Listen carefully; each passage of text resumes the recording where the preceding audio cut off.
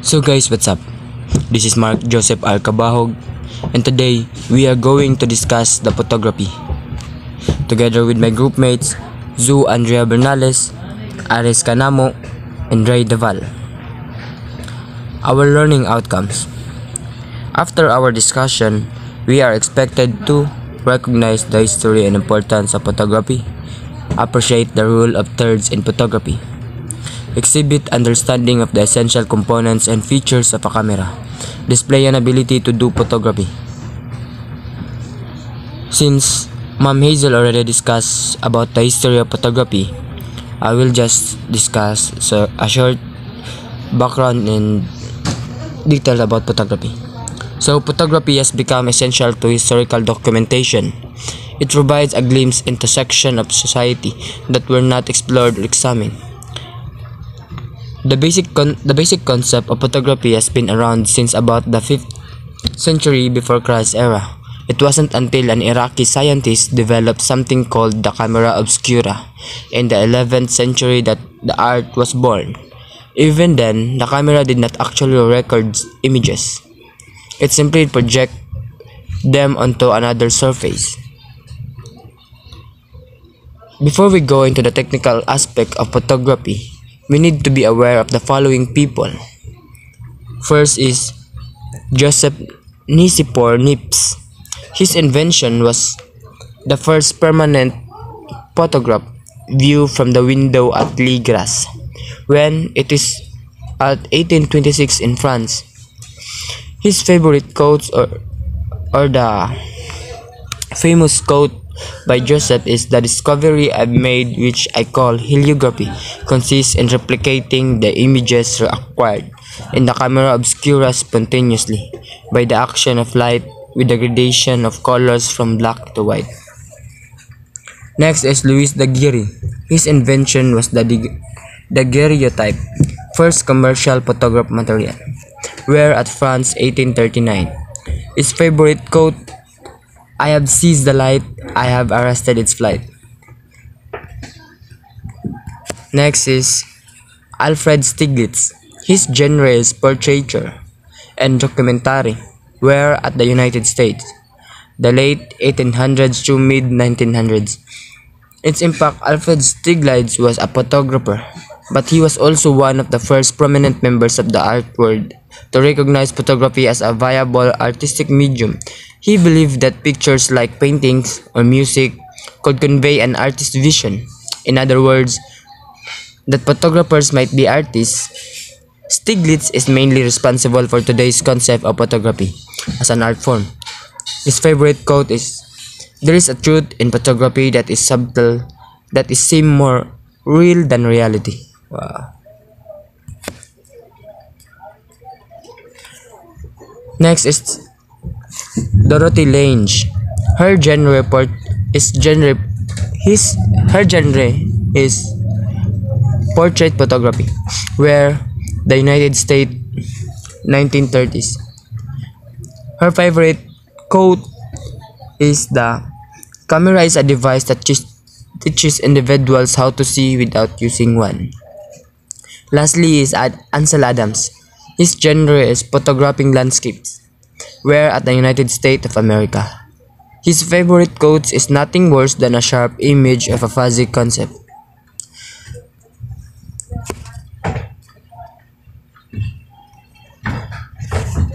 Next is the rule of thirds composition in photography. The rule of thirds is a composition guideline that places your subject in the left or right third of an image, leaving the other two thirds more open. While there are other forms of composition, the rule of thirds generally leads to compelling and well composed shots. So here is some example. These images shows the perfect catch up shots kanang tights kay nga kuha. This rule of thirds help us directly view the gaze to the main focal point of an image. Whatever the subject may be, it makes the most of empty space by drawing your eye to a specific part of the image. So mas okay ang jud kuha pag natay gina specific part nga ginakuha. ang background ug ang ano ginakuhaan. Mao siya. So the types of photography will be discussed by Zu Vernalis. Agating. Hi, my name is Zoe and I will now discuss the types of photography. Er, um, there are 13 types of photography, so let's guess, let's discuss each one of them and know their meanings. The first one is aerial photography. It refers to the taking of photographs of the ground from an elevated position. This type of art uses a specialized camera mounted, such as fixed wing aircraft, helicopters, drones, balloons, kites, parachutes, and etc. Astrophotography so it entirely focuses on capturing images from space and this type of photography could vary from the planets to the stars or any other exciting configurations. The third one is commercial photography. So this photography is uh, work done for marketing like menus in cafes, restaurants, brochures and leaflets, magazine advertising, merchandising, and product placements. So examples of commercial photography are advertising photography, architecture and interior photography, automotive photography, food photography, jewelry photographs, journalism photography, product photography, and sports photography. Fine art photography. Um, this type of photography captures images with an, an abstract influence. So it can be equated to an artist's expression on a painting. Forensic photography is also known as crime scene photography, wherein the photographer's work is to capture images for a correct representation of the crime scene. So, headshot photography, also known a, um, as a mugshot. Um, that's the other name for this snapshot. And this is primarily concerned with the person's face. Macro photography, close-up photos of a specific theme are referred to as this. So it's mostly used so to photograph aspects of creatures of nature that aren't visible to the human eye. Eighth um, type of photography is nature photography. Um, it contains all forms of photography where the main subject has somewhat to do with the nature. It also emphasizes landscapes, wildlife, underwater, and plants' lives in their natural environment. Nude photography is all about portraying the human body in the naked form. The tenth type of photography is portrait photography. Um, this is all about capturing a person's mood, emphasizing the face and expression of a person. Still life photography is all about capturing objects on camera, camera that are deliberately grouped to create a particular composition. This type of photography demands an excellent lighting technique. Street photography.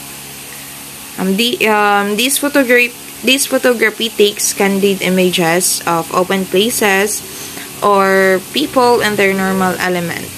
So it is it is also needs the photographer to mingle with people, I mean with other people and achieve the best frames.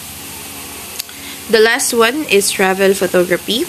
So this includes capturing images of a particular landscape, traditions, customs, or even people from different places.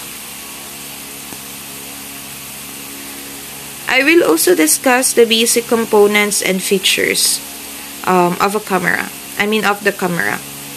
So Cameras are helpful gadgets that are used solely to capture still images, whether for entertainment or security. So every camera contains some fundamental components necessary for its operation from Dutchess 2011. Some important components and features of a camera as I mean of a camera are as follows. So as you can see um, um, in the photo you can see the different um, components and features of the camera. So let's discuss one of them. The aperture is a light traveling opening in a camera that may be changed to control the quantity of light that reaches the image sensor. Data display. It is used to display the menu for adjusting the different camera operations. Electronic sensor. It transmits and detects information used to make an image. Lens. The camera's eye is used in conjunction with a camera body and mechanism to capture images of the objects. Um, the fifth one is shutter release button. The button is found on a camera used to take photos. Viewfinder. It is used to view the captured image of the subject. So, other components of a camera. Number one, camera body. It is the housing for the camera. Built-in flash. It is used to capture a shot of weakly light views. It may also automatically shoot some modes. Focus point selection button. During AF shooting, it selects the position to set the focus, um, the AF point.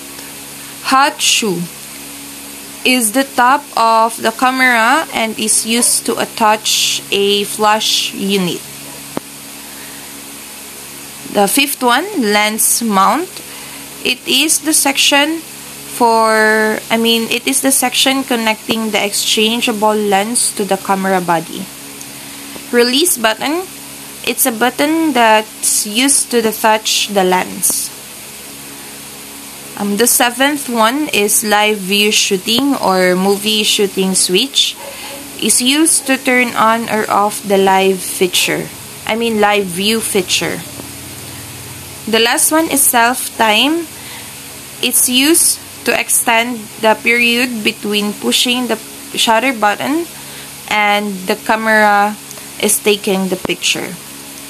So that's all for um, my reporting. So the next um, person who will discuss furtherly will be Mr. Aris Kanamo.